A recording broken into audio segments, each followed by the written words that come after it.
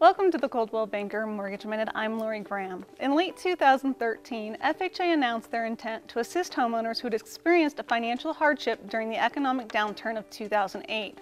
FHA implemented the Back to Work program to assist homeowners who lost their homes to short sale, foreclosure, or who had to file bankruptcy purchase a home sooner than previously allowed.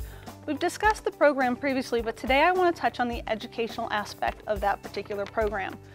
FHA requires that you complete a homeownership counseling course at least 30 days before applying for a new loan.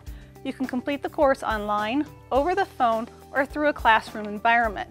You can contact the Department of HUD at 1-800-569-4287 for a complete list of agencies who offer the courses. Most agencies will require a small fee and they offer the classes in either English or Spanish. When you complete the course, they'll provide you with a certificate to provide to your lender so that you can start the new application for your next home.